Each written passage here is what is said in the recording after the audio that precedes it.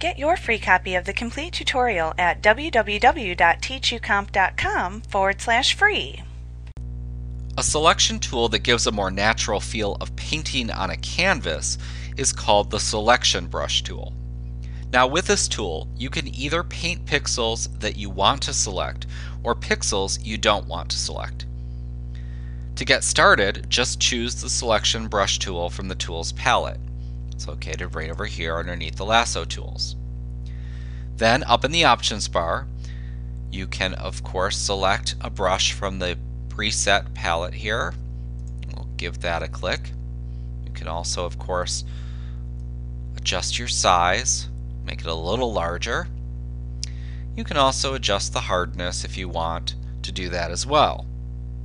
Now under mode you have a drop down here and you choose selection in order to paint pixels that you want to select or mask to paint pixels that you don't want to select. If you choose mask, you'll also be required to select an overlay color. That's over here. You'll see that.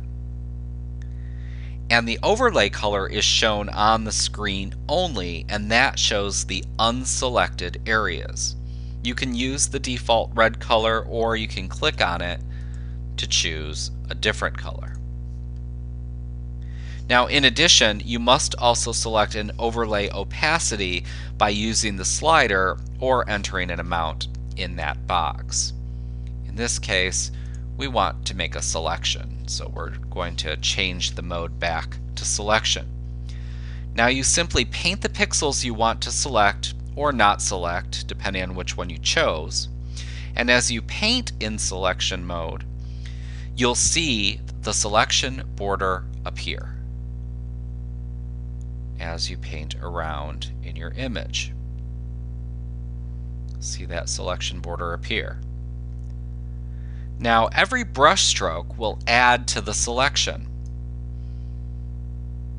So you can stop and release your mouse pointer if you want and you can continue painting if you like to make your selection. Now, if you select something that you didn't intend to select, let's say you slip a little bit and you go out here, then you can hold down the Alt key on your keyboard and paint over the mistaken area. And you will deselect it. Just like that. Now, if you choose to paint in mask mode, remember that you are choosing pixels you don't want to select. When you're done, you choose selection from the mode drop-down list, or you choose another tool in the tools palette to turn your mask into a selection border. Like what you see? Pick up your free copy of the complete tutorial at www.teachucomp.com forward slash free.